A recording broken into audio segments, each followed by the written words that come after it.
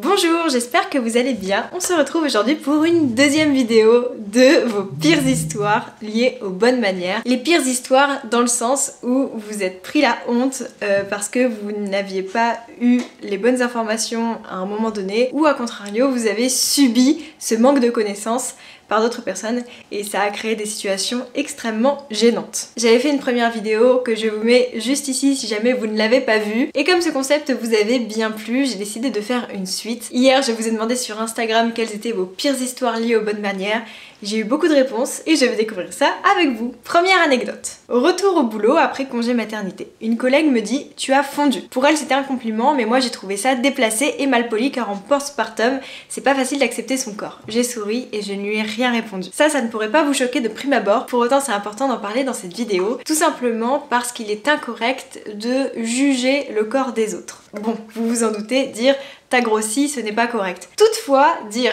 tu as maigri, ce n'est pas correct non plus, même si on peut penser que c'est positif, ça ne se dit pas. Parce qu'en fait, on ne sait pas ce que cette personne subit avec son corps. Peut-être qu'elle ne s'aime pas, peut-être qu'elle a des problèmes alimentaires, ce qu'on appelle des TCA. Bref, on ne sait pas, ça ne regarde pas, donc on ne fait pas de remarques sur le corps, même si nous, on pourrait penser que c'est positif. Une phrase réellement gentille serait tu rayonnes après ta grossesse, tu as bonne mine, mais pas sur le poids. Ça, c'est très drôle. Mon directeur de thèse, c'est... Je recommence, ça me fait vraiment rire. Mon directeur de thèse se curait les oreilles et jetait devant lui en pleine table. Oh là là là là là là, terrible. Vous savez, ce n'est pas parce qu'on a une profession euh, honorifique que euh, l'on est éduqué aux bonnes manières. La preuve. Autre anecdote.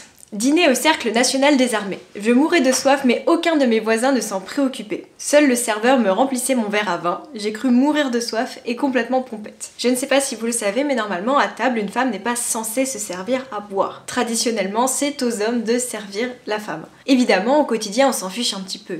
On est complètement capable de se servir à boire. Toutefois comme la personne nous le dit ici c'était un repas officiel au Cercle National des Armées. Et donc il faut appliquer les traditions. Et donc cette personne a voulu bien faire en respectant absolument tous les codes. Mais le problème, c'est qu'apparemment, elle était face à des gens qui n'appliquaient pas forcément tous les codes. Dans ces cas-là, comment faire? Eh bien, tant pis pour les codes. Si on est avec des personnes qui ne connaissent pas forcément les codes, eh bien, on prend le pichet d'eau, on remplit son verre, et a priori ça ne devrait choquer personne.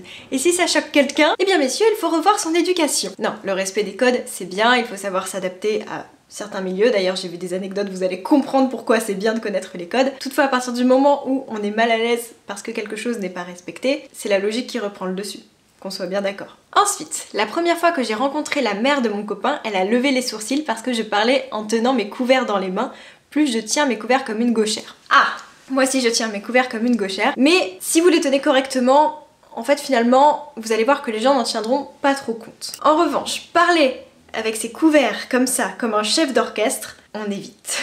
à la place, ce qu'il faut faire, c'est que quand on est à table et qu'on a les couverts dans les mains, on peut laisser les couverts dans les mains ou alors on les pose dans notre assiette, mais on n'agite jamais nos couverts en l'air. Jamais. Ils doivent toujours rester proches de l'assiette. Une camarade de classe qui raconte les malheurs de sa vie privée en monopolisant la parole d'un repas, sans même que je lui ai demandé, ni même qu'on se soit adressé la parole auparavant.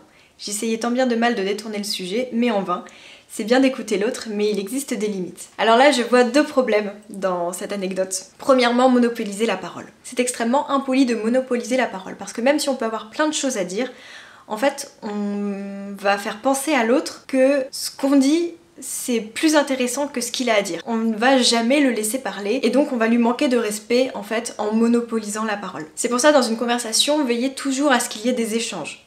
Même si un moment de la conversation c'est vous qui racontez une histoire, Faites en sorte qu'après ce soit lui qui vous raconte une histoire. Mais il faut jamais que ça n'aille que dans un sens. C'est pareil, le fait de rapporter une histoire le fait de rapporter son histoire à l'histoire qu'on nous raconte, c'est aussi un petit peu mal vu. Tu vois, si quelqu'un te dit alors j'ai fait ça, oh moi aussi d'ailleurs, là là là là. Non. Tu laisses finir son histoire et après éventuellement tu peux raconter une histoire similaire. Mais tu ne le coupes pas en lui disant oh moi aussi. En fait ça montre que tu l'écoutes juste pour répondre, tu vois, tu l'écoutes pas vraiment. Donc ça c'est deux choses primordiales dans une conversation, c'est ne pas monopoliser la parole et ne pas s'identifier à son histoire en permanence. Déjà ça c'est important. Le deuxième problème dans cette anecdote, c'est que cette personne, alors que tu ne la connais pas, que tu ne lui as rien demandé, te raconte sa vie privée. Euh... Ça, c'est quelque chose qui est très gênant. Même moi qui suis très ouvert d'esprit, qui suis à l'écoute des gens, je trouve ça gênant quand une personne en fait te raconte trop sa vie. Je te connais pas, raconte-moi déjà un petit peu qui tu es, tes passions, ce que tu aimes, où t'as grandi, etc. Mais ne me raconte pas tes histoires de famille. Attends de me connaître un petit peu plus. Avant, j'aimais les personnes comme ça parce que j'avais l'impression qu'elles se confiaient à moi, qu'elles avaient confiance en moi. Pour moi, c'était quelque chose de bien. Maintenant, je me méfie de ces personnes-là, je me méfie des personnes qui se dévoilent trop tout de suite. Et moi-même, j'ai pu être comme ça dans le passé parce que je trouvais que c'était quelque chose de bien, donc j'essayais de faire ça bien. Mais en fait, ça va pas du tout. Si jamais vous aussi vous êtes concerné, je pense que c'est important de mettre des limites dans sa vie privée. Il y a des choses qu'on peut dire, il y a des choses qu'on ne peut pas dire. Du moins qu'on ne peut pas dire au premier venu. Autre anecdote. Je ne sais pas si ça compte, mais dans une pharmacie hyper bondée, j'étais face au rayon d'une marque. Je cherchais un produit et j'attendais que la conseillère qui parlait à une autre cliente soit dispo. Une femme derrière moi me dit pardon et par courtoisie je me suis décalée. Bref, elle a pris ma place dans le rayon et quand la conseillère a été disponible, elle s'est adressée à elle.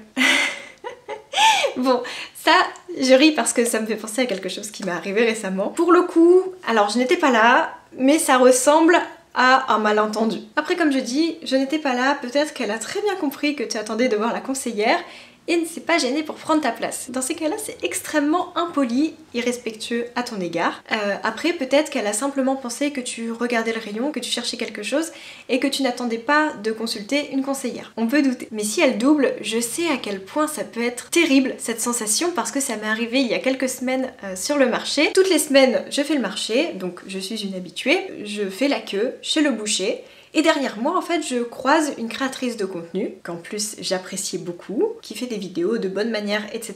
Je ne pense pas que vous la connaissez parce qu'elle est pas sur YouTube, mais en fait, sur le coup, j'ai eu un petit doute. Est-ce que je vais lui parler? Est-ce que... Toujours cette petite question, vous savez, on a tellement l'habitude de voir les gens virtuellement que de les voir en vrai, on n'est pas toujours préparé. Et en fait, pendant que je me pose ces questions, elle me double, elle passe devant moi, alors que j'étais clairement en train de faire la queue. Euh, aucun doute, je faisais la queue, j'attendais comme ça, droite comme un piquet, derrière les gens, avec mon chien, devant le stand.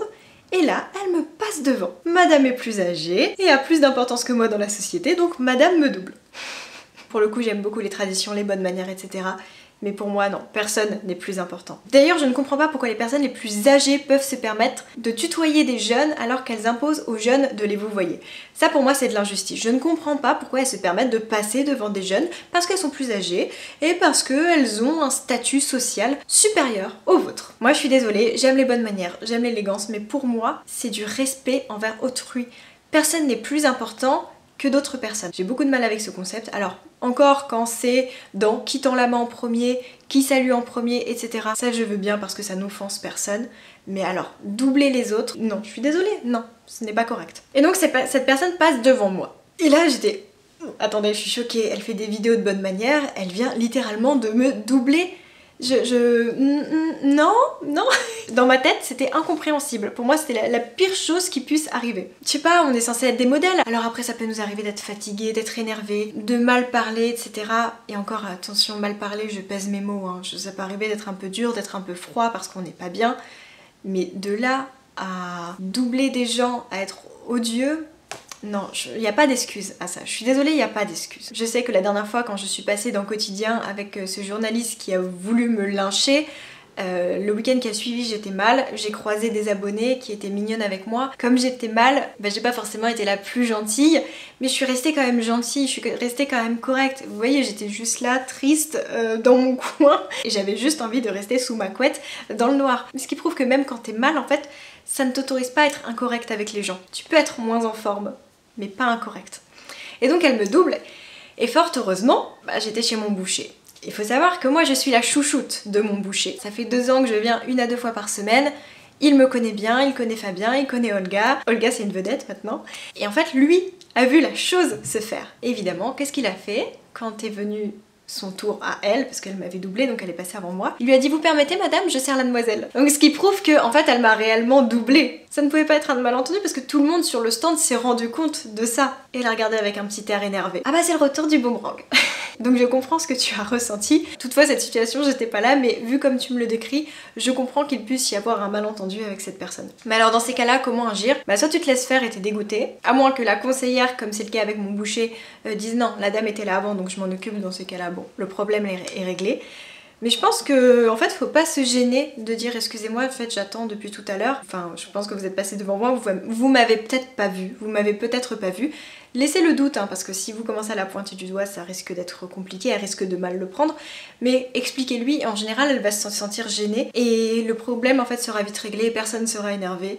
Et puis après, en fait, vous sortez de la boutique et vous avez déjà oublié cet événement. Faut savoir qu'en grande majorité, les conflits, etc., c'est juste le résultat d'un malentendu. Et d'ailleurs, c'est pareil pour les disputes. Les disputes, en fait, c'est souvent des malentendus, des non-dits, etc. Et c'est pour ça que c'est important de communiquer. Et quand on trouve quelque chose d'injuste et tout, en fait, il vaut mieux tout de suite en parler avec la personne sans jamais pointer du doigt, juste dire voilà comment moi je l'ai perçu, peut-être que je me trompe, explique-moi comment toi tu vois les choses, etc. Et en général, quand on fait ça, c'est quasiment impossible de se prendre la tête avec les gens, c'est quasiment impossible d'être en conflit avec des gens. Du moins si les deux personnes sont intelligentes et font les choses correctement. Au moindre doute, il faut en parler avec la personne. Depuis que je fais ça, mes relations avec les gens sont tellement plus simples, sincèrement. Au restaurant, mes parents et leurs amis ne parlaient qu'entre eux. Alors j'ai décidé de finir de lire mon livre à table. En rentrant, ma mère m'a passé un savon dont je me souviens encore. Bah oui Ça s'appelle l'éducation. C'est incorrect à table de faire autre chose, que ce soit de consulter son téléphone, de lire un livre ou que sais-je. Quand les gens discutent de quelque chose, en fait, il faut essayer de rentrer dans la conversation. Et alors, si vous voulez, j'ai plein de conseils pour ça parce que euh, donc je suis avec un médecin qui a beaucoup d'amis médecins et les médecins, ça ne parle que de médecine quasiment. Donc, durant les soirées médecine, euh, moi je suis un peu là. Coucou, je connais rien du tout. Donc comment je fais? Eh bien simplement je pose des questions dès que j'entends des mots. Ça, qu'est-ce que c'est? Etc. Et en général, ils sont très contents de vous expliquer. Je vous assure, en général, ça leur fait plaisir de vous apprendre des choses. Et au bout de 6 ans, je me suis créé une vraie culture médicale. Sincèrement, quand les gens me parlent de leurs problèmes médicaux et tout dans ma tête, alors moi je dis rien parce que je ne suis pas médecin, mais dans ma tête, je dis Ah, mais ça doit être ça. Ah, et après, je demande à Fabien, il me dit Ouais, c'est ça. et, puis, Fabien, parfois, pour rire, il me dit Alors, ça, tu sais ce que c'est? Je dis Oui, alors ça, c'est là, et là, et là. Il me dit Bah oui, mais comment tu sais ça, toi? Je dis J'écoute. En fait, il faut simplement être curieux. N'hésitez pas à poser des questions. Si ça parle d'un sujet, que vous entendez un mot que vous connaissez pas, demandez ce que ce mot veut dire. Il n'y a aucune honte à ça. Je vous assure. Si les gens vous disent Ah bon, tu connais pas ça toi? Non mais t'es un culte, vous ne les méritez pas. Mais en général, les gens seront super contents de vous expliquer. Et donc, c'est comme ça que vous allez intégrer la conversation. Je vous assure, c'est moins difficile que ce que ça en a l'air. Avoir dit bon appétit à une comtesse. Je ris d'avance. Après avoir vu ses yeux, je me suis dit que j'avais dû dire une bêtise. Je me suis documentée et j'ai lu que le bon appétit n'était pas poli. Et oui, bon, ça maintenant vous le savez parce que j'ai fait plein de vidéos, mais euh, il ne faut pas dire bon appétit. Alors en général, les gens n'en tiendront pas compte parce qu'il y a plein de gens qui ne le savent pas. Mais si moi je vous rabâche ça sans cesse, c'est pour ce fameux jour où vous allez vous retrouver devant une comtesse et vous saurez qu'il ne faut pas dire bon appétit. Personnellement, j'aime apprendre les codes euh, parce que derrière il y a une histoire, il y a des explications et je trouve ça génial. En plus, ça me permet euh, de savoir quel comportement ne pas adapter ne pas adopter avec certaines personnes. Ça c'est très important, ça relève de l'intelligence sociale, en fait savoir s'adapter à tout milieu social. Ne négligez jamais ça. Peu importe le milieu social, c'est important de savoir s'adapter. Très honnêtement, surtout comme je viens d'un autre milieu social, etc., je m'adapte aisément à quasiment tous les milieux sociaux. Comme ça, je sais, j'ai pas l'air, il y en a plein qui pensent que je suis une fille coincée, etc. Mais alors vous me mettez n'importe où, je sais m'adapter. Enfin, quasiment n'importe où. Pourquoi j'ai décidé de parler d'élégance? Pourquoi j'ai décidé de parler de bonne manière et pas d'autres? Codes dans d'autres sociétés Eh bien parce que ces codes sont élitistes et ne sont pas facilement accessibles. Si je vous en parle, c'est justement pour vous éviter ces situations gênantes. Dans la haute société, il y a deux types de personnes. Il y a des personnes qui sont bienveillantes, qui ne vous feront jamais aucune remarque, qui seront les plus douces à votre égard, qui seront toujours gentilles, qui connaissent tous les codes, mais qui ne relèveront jamais vos erreurs. Jamais. Et il y en a plein des personnes comme ça. Mais il y a aussi des personnes prétentieuses. Il y a aussi des personnes snob. J'aime pas dire le mot snob parce que ça veut dire euh, sine noblesse, sans noblesse, donc en fait pour moi ça n'a pas trop de sens, mais vous voyez ce que je veux dire. Mais il y a des personnes prétentieuses qui vont en fait se permettre d'être odieuses parce que vous n'avez pas cette éducation aux bonnes manières. C'est le cas de cette comtesse qui lance un regard à une jeune fille qui entend le mot bon appétit. D'accord, bon appétit ça ne se dit pas, ce n'est pas correct, mais ce n'est pas faire preuve d'élégance et d'éducation de faire des gros yeux. Pas du tout. Donc ne vous vexez pas si un jour vous fautez, ça arrive à tout le monde de fauter, même encore des aristocrates qui sont nés avec cette éducation, faute. Voilà, c'est dur d'être parfait, il y a tellement de codes, etc qu'on oublie des choses parce qu'on ne les pratique pas tous les jours, c'est ok, ne vous en faites pas. Mais dans tous les cas, si une personne euh, réagit mal, sachez que c'est cette personne qui est intolérante et qui manque pour le coup d'éducation. De connaître les codes, ça vous évitera donc ces situations gênantes, mais ça vous permettra aussi et surtout, moi c'est comme ça que je vois les choses, de rejoindre ces personnes qui sont très bienveillantes, qui ne feront jamais remarquer à quelqu'un qu'il a fait une erreur, qui restera toujours gentille, mais qui à l'inverse fait bien les choses. Vous voyez ce que je veux dire? Moi c'est plus dans cette démarche d'art de vivre et de discipline. C'est ça qui me plaît dans l'élégance. Je ne sais pas comment vous, vous voyez les choses, mais en tout cas, connaître les codes, ça a cette double utilité. À la fin d'un repas que j'ai préparé, chaque personne m'a jugé avec la disposition de leur couvert. Non, alors ça, euh, c'est du bullshit.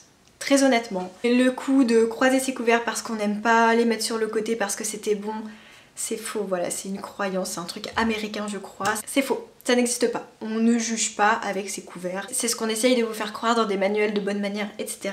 Mais ce n'est pas une tradition. En tout cas, pas une tradition française. Américaine peut-être, mais en France, ça n'existe pas. Si des gens croisent leurs couverts, c'est parce qu'ils ne savent pas. Faut pas chercher plus loin. Ne vous vexez surtout pas. Et on termine avec cette anecdote. Une fois, j'ai pas dit à tes souhaits à la personne, elle m'a dit alors l'éducation elle est où? Bon bah alors là c'est clair, net et précis. Hein. Une personne déjà qui va s'offenser parce que tu lui dis pas à tes souhaits, c'est cette personne qui n'a pas cette éducation parce qu'on ne dit jamais à tes souhaits à une personne et qui en plus te dit elle est où l'éducation? parce que tu ne lui as pas dit. Là, c'est double red flag. On va jamais dire à une personne ne t'as pas d'éducation. Alors déjà, ça c'est terrible, on lui fait pas remarquer, on passe à autre chose. C'est aussi simple que ça. Je vais parler d'un truc extrêmement grossier, mais je crois qu'à un moment il faut en parler. Comme ça, ça va rentrer dans la tête. Imaginez juste quand quelqu'un pète. Est-ce que vous allez lui dire ah bah à tes souhaits? Déjà, est-ce que c'est correct de lui faire remarquer? Tu vois, je pense qu'il est déjà assez gêné comme ça. Parce que euh, parfois ça peut arriver. Au bout d'un moment, faut aussi décomplexer un petit peu la chose. Je pense qu'il faut aussi en parler. Ça peut arriver, on peut être malade, euh, on sait pas ce qui peut passer. Je, parle vraiment d'un accident. Attention. Bah non, c'est incorrect de lui faire remarquer. On ne dit rien. Imaginez si en plus d'avoir eu cet accident, il lui demande, il lui dit ah bah dis donc, où est-ce qu'elle est l'éducation? Là, tu m'as pas dit à tes souhaits. Voilà, c'est un petit peu ces choses que le corps fait. On est humain, ne l'oublions pas, hein, d'accord? La société, on est tout beau, etc. Ok, mais on reste des humains avec un fonctionnement normal. Voilà, c'est comme ça, il n'y a pas de honte à avoir, ça peut arriver. Mais ça sert à rien que les gens disent ah bah tes souhaits, ah bah ceci, bon appétit, nanana. Non. Ça sert à rien. Voilà, au moins ça rentrera dans votre tête. J'espère que cette vidéo vous a plu. N'hésitez pas si vous voulez que je refasse une autre vidéo sur ce thème. Je vous embrasse et je vous dis à bientôt pour une prochaine vidéo.